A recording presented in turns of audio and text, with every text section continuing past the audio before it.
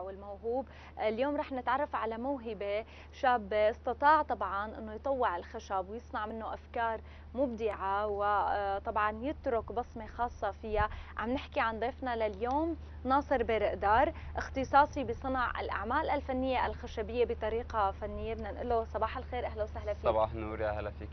يسعد صباحك. هلا. صباحك إن شاء الله. بالبداية معك يمكن بعض أعمالك والخشب فيه عم يحكي بطريقة فنية جميلة. بس قبل ما نحكي عن هدول الأعمال. خلينا بالبداية نعرف المشاهدين عن ناصر بيرقدار إيمت بلشت هي الموهبة وكيف كانت؟ تمام. أه والله بصراحة بلشت معي من 2012 تقريبا. أه شفت كلوب فحبيته وحاولت أعمل مثله. أه زبط معي بس يعني كأول محاولة ما كان مثل القطع الحالية الموجودة هلأ معنا هون.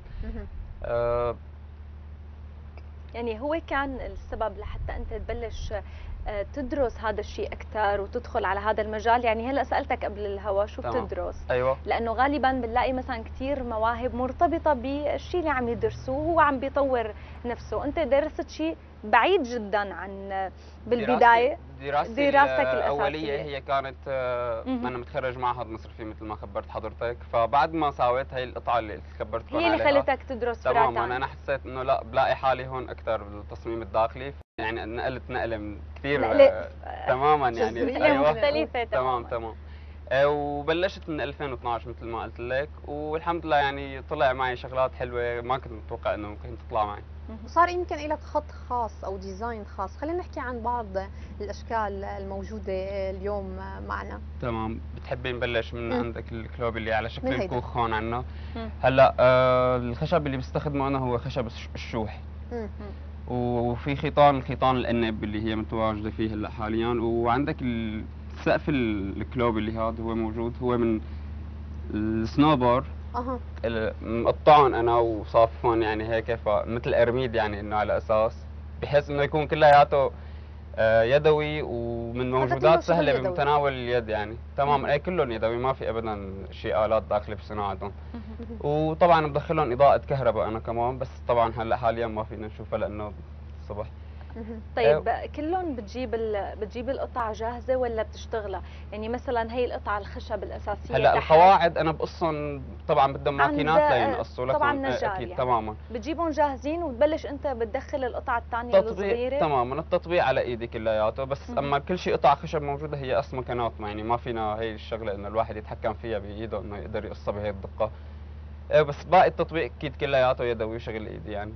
قديش بتاخذ معك هيك قطعه شغل تقريبا؟ هلأ من قطعه لقطعه بيختلف الوقت اللي بتاكله. مثلا عندك هاد يعني مبين يمكن عن الكل إنه بده سبع أيام إيه أكثر شيء سبع أيام ثمان أيام بده شغل تقريبا ليجهز معي. بين بخ بين تطبيق بين تلزيق بين تمديد الكهرباء له. فهيك بياكل وقت. تقريبا. باقي القطع. هلأ ممكن في قطع مثلا عندك مثل هي يعني بيومين ممكن تكون خالصة معي. بتراوحوا من بين اليومين للسبعة أيام ثمان أيام ولو كمان كان في إمكانية كنت تقدر تجيب أكثر من هيك قطع آه، في قطع حتى بتاكل أكثر من هيك شغل. يعني ممكن تاكل لل 15 يوم 20 يوم شغل. بس ما قدرت اجيبها معي لأنه ما لها متوفرة بين إيدي حاليا. طيب كمان خلينا نحكي اليوم التصميم بيلعب دور كثير كبير. تمام. يعني كثير بنشوف قطع من زمان موجودة بالديكورات المنزلية بالخشب. اعتبار الخشب بيعطي دفء هيك خاص تمام. بالبيت. ولكن التصاميم اللي انت عم بتدخلها هي اللي عاطية هي البصمة الطريقة الفكرة بحد ذاتها قد إيه بتشتغل عليها؟ بتشوف انت ببالك فكرة ولا مثلا بتشوف الناس شو بدها أو بيت حدا معين إذا موصيك وبتشتغل على أساسها؟ هلأ طبعا توصاي أنا أي حدا ممكن يوصيني على شيء ممكن أشتغل له انفذ له الفكرة اللي بباله ممكن أجيب لك صورة تشتغلها. تماما. بس غير هيك هلأ هدول كلياتهم تصميمي أنا يعني ما هي تجميع أفكار. ممكن تشوفي قطعه قطعتين ثلاثة أربعة خمسة أنت تطلعي بفكرة وممكن الفكرة تطلع معك بيوم بساعه وممكن تاخذ أيام لحتى تطلع. يعني على حسب كل كل موديل له فكرته الخاصة فيه. يمكن الخشب أكثر شيء مرغوب بتصاميم البيت لأنه بيعطي جمالية خاصة نوعا ما. بس قديش قدرت يمكن تعمل خط خاص فيك؟ لأنه في كثير من الناس يمكن تشتغل بهذا المجال بس الشغل اليدوي اليوم هو اللي بيعطي ميزة خاصة للقطع وبتلاقي قليل الناس لا تشتغل بهذا المجال. تمام. هلأ آه ك كخشب أنا يعني خارج عن إنه عم بشتغل أعمال يدوية وهيك بس الخشب بحبه أنا يعني من من ذاتي بحبه فلذلك إنه يعني طلع معي أفكار أكثر وأشكال أكثر و كل ما عم تتطور يعني الحمد لله الناس عم معك قديش يمكن صار لك 8 سنين. م. يعني مع البداية لليوم قديش فعلا في تفاعل من الناس وعم تميل لهي التصاميم اليدوية؟ هلأ بصراحة قصة التفاعل يعني صعبة لحد ما توصلي انت لقسم أكبر من الناس. يعني بدايتها ما راح تكون ابدا مثل يعني هلأ اليوم اللي بلشت أنا أكيد مو مثل اليوم. طبعا. بيختلف كثير ترتيب. وساعدت حالي بطريقة إنه ممكن روج أو سوق لحالي على الإنترنت باعتبار كثير صعب إني أفتح محل حاليا وهيك فقدرت إني أوصل لأكبر عدد من العالم حاليا اللي على الصفحة عندي. أه يعني أكيد. سنت زمان بسنتين زمان هلأ آخرانيات كانوا تماما يعني كان الصدى الأكبر. أيوه الصدى الأكبر فيهم كان طيب رح أسألك بقى شوية أسئلة تفصيلية أكثر أكيد اليوم آه، ست البيت وقت تختار قطعة بدها تزين فيها بيتها بتحاول تختار ماتيريال بعيش فترة أطول بضل عم يعطي رونق حلو. تمام. من عيوب الخشب وخصوصا اللي الخشب بالخيطان بلم غبرة. مظبوط. بتتعذب فيه ست البيت إنه كيف بدي أتنظف؟ ما عاد مثل ما أول ما جبته كذا ممكن تنظفه بطريقة غلط. وخصوصا نحن عم نحكي عن عناصر إضاءة يعني في كهرباء في مزبوط. في فيش بتخاف ممكن تقرب عليه مي. شو الطريقة لحتى هي تحافظ على هي القطعة بشكل مناسب؟ هلا بده عناية بشكل يومي هو بصراحة ليقعد معك أكبر قدر ممكن من شو المواد اللي بتستخدمها؟ بالتنظيف. يعني مقشة غبرة عادية تحطي لها نقطتين مي مو أكثر يعني بس لحتى تلم الغبرة اللي ممكن تجي عليهم.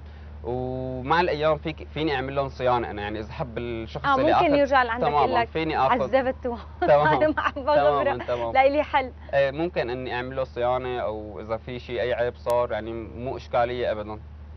طيب يمكن الأعمال اليدوية اليوم قد ما بتاخذ يمكن جهد جهد ووقت طويل في كثير من الناس بتلاقيها مكلفة ماديا. بظل هيدا الغلاء اللي عم نعيشه الأسعار قديش عم تراعوها آه، اليوم؟ لما أقول قطعة آخذة منك جهد أكيد بدها كمان مردود مادي يرجع لك بس اليوم في ظروف مادية كثير صعبة. عم تاخذوا هيدا الشيء بعين الاعتبار نوعا ما؟ هلأ أنا مشان راعي هاي الشغلة في عندي قطع اللي هي بتاكل شغل كثير وبالمقابل هي تكلفتها عالية راح تكون. في عندي قطع يعني متناول اليد الجميع ممكن أي حدا يحصل عليها. يعني متناول جميع الفئات تماما. يعني ممكن الأسعار تبلش عندي من ال 15000 وأنت طالعة ما لحد طبعا لتوصل على حسب القطعة اللي بتجيني.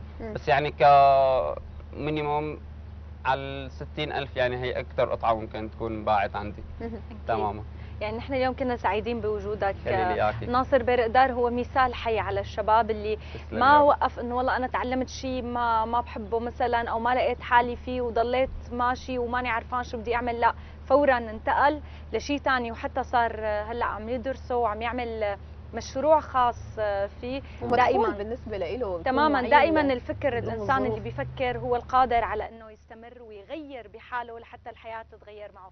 نشكر وجودك خليلي إياك شكرا لكم. يعطيكم العافية. نشكرك أكيد على وجودك معنا. نتمنى لك التوفيق بجميع خطواتك القادمة. نوجه تحية كمان سلمى لكل الشباب السوري اللي ضمن هي الظروف الصعبة. عم يحاول يلاقي له خط خاص يكون في مجال معين يشتغل فيه. ضمن إمكانياته ويكون أيضا معي لنفسه أكيد يعني اليوم كان معنا اثنين من نماذج الشباب اللي فعلا آه، بيفرحوا بيكبروا القلب مثل ما بيقول واحد. حدا شباب تطوعي حاول يلاقي حلول لناس بهذا الوقت من خلال تعليمه وشاب قدر يعمل موهبة وبصمة مميزة. أكيد. شكرا كثير يا رب. ولكم